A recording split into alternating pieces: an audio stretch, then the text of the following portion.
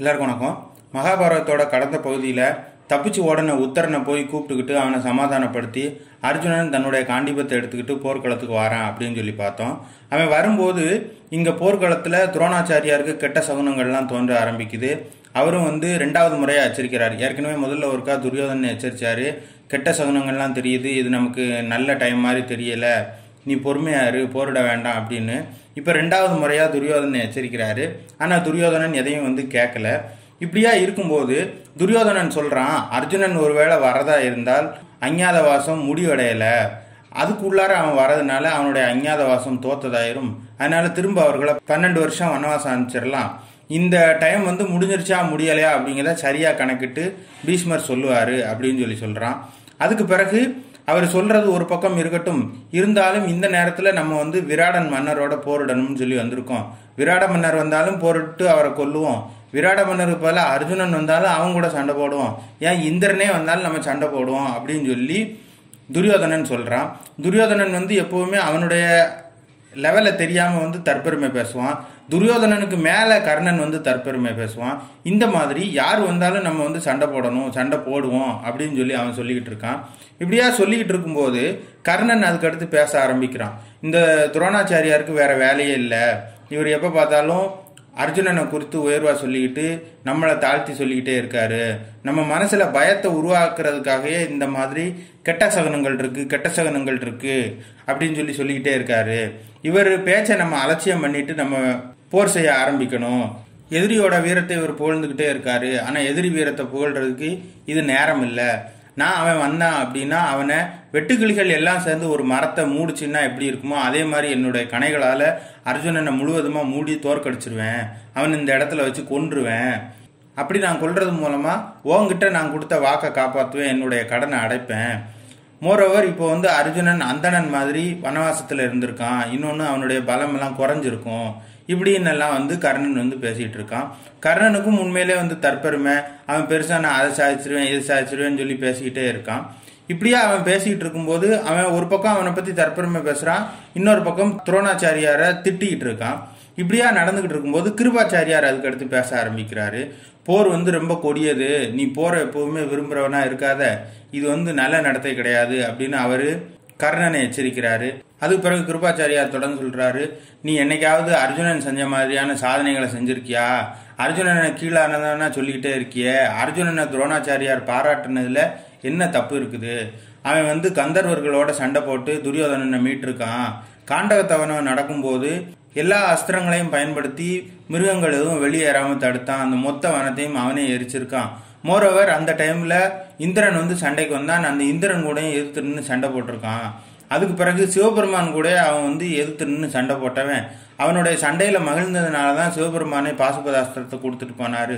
இந்த மாதிரியான காரியங்கள் எதையாவது நீ செஞ்சிருக்கியா? இந்திரலோகத்தில் இருக்கும்போது நிவாத கவசர்கள்ங்க அசுரர்களை ஒரே ஆளாக நின்று போரிட்டு அவன் தோற்கடிச்சான். இந்த மாதிரி நீ எதையும் செஞ்சிருக்கியா? ஜெயத்ரதன் பாஞ்சாலியை தூக்கிட்டு போகும்போது அர்ஜுனனும் பீமனும் போய் தான் சண்டை போட்டு அவங்கள காப்பாற்றிட்டு வந்தாங்க.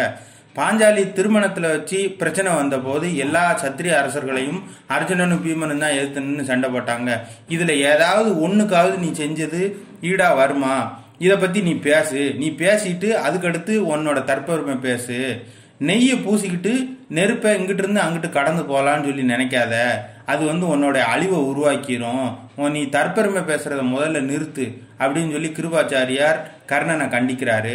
அதுக்கு பிறகு என்னதான் வந்து இருந்தாலும் அர்ஜுனன் அவ்வளோ பெரிய ஆளாக இருந்தாலும் இன்னைக்கு நம்ம போரிடணும்னு சொல்லி துரியோதனனுக்காக வந்திருக்கோம். நாம எல்லாரும் சேர்ந்து போரிட்டே தீரணும் அப்படின்னு கடைசியாக அவர் முடிவு சொல்றாரு. உண்மையிலே அவருடைய நோக்கம் வந்து போரை நிறுத்துறதா இல்லை. கர்ணனை கண்டிக்கிறது தான் அவருடைய நோக்கம். கர்ணனை ஒரு பக்கம் வந்து கண்டிக்கிறாரு. இன்னொரு பக்கம் நாம போர் செய்யணும் அப்படிங்கிற விஷயத்தையும் சொல்றாரு. இப்படி அவர் பேசிக்கிட்டு இருக்கும்போது இன்னொரு பக்கம் அஸ்வத்தாமனும் கர்ணனை வந்து திட்ட ஆரம்பிக்கிறான். இந்த கர்ணனுக்கு தற்பெருமை பேசுறதே வேலை. அவன் எல்லா நாளும் க- தற்பெருமை வந்து பேசிக்கிட்டே தான் இருக்கான். துரியோதனன் ஒரு மோசடி பேர்வழி எந்த அரசனாவது துரியோதனன் இந்த மாதிரி பாண்டவர்களை பகடைக்காயால் தோற்கடிச்சு பெற்ற ராஜ்யத்தை புகழ்ந்திருக்காங்களா? இந்த காரியத்துக்காக துரியோதனன் யாராவது மிகப்பெரிய சக்கரவர்த்தின்னு சொல்லி புகழ்வார்களா? வேணா இவன் மூஞ்சிக்கு முன்னால புகழ்வாங்க. பின்பக்கமாக போய் இவனை திட்டத்தான் செய்வாங்க. அவன் வீரம் கிடையாது. அவன் வந்து மோசடி பேர் வழி தற்பெருமை பேசிக்கிட்டே இருக்க கர்ணன் என்னைக்காவது அர்ஜுனனை போய் போருக்கு அழைச்சிருக்கானா அர்ஜுனனை நான் தோற்கடிச்சிருவேன் தோற்கடிச்சிருவேன்னு ஒவ்வொரு நாளும் சொல்லிக்கிட்டு இருக்கான். ஒரு நாளும் இவனா போய் அவனை போருக்கு போருக்கு அழைக்கல. ஆனால் அர்ஜுனன் ஒரு நாளும் கர்ணனை நான் தோற்கடிச்சிருவேன்னு ஒரு நாளும் சொன்னது கிடையாது. அதனால அவன் சும்மா இருக்கான் அப்படிங்கிறது அவனை நம்ம கேள்வி கேட்க முடியாது.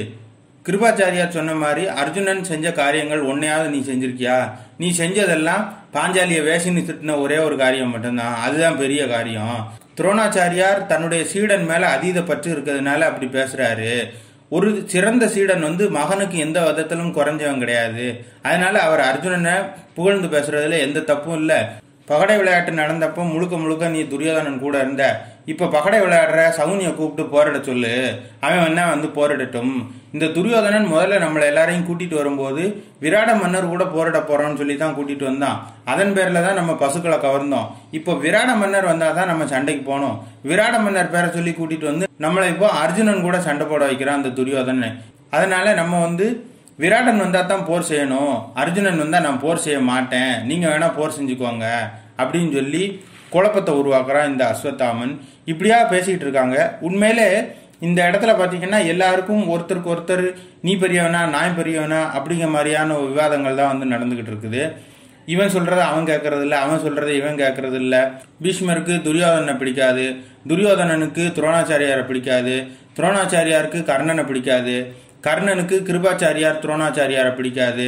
கர்ணனுக்கு பீஷ்மரை பிடிக்காது. இப்படியா ஒவ்வொருத்தரும் அவருடைய அவரவர்களுடைய சொந்த விருப்பு விருப்பங்களின் பேரில் தான் வந்து போர் செய்கிறாங்க இந்த விராட போர் மட்டும் இல்லை குருஷேத்திர போர்லையும் இதே மாதிரி தான் வந்து செய்வாங்க. அதனாலே வந்து பார்த்தீங்கன்னா கௌரவர்கள் சைடில் ஒரு குழுவாக ஒரு டீம் ஒர்க்காக இருந்து வந்து செய்ய மாட்டாங்க. என்னதான் நடந்தாலும் பீஷ்மர் சொன்னதை நான் கேட்பேன் அப்படிங்கிற ஒரு மனோபாவம் வந்து கர்ணனுக்கு வரல.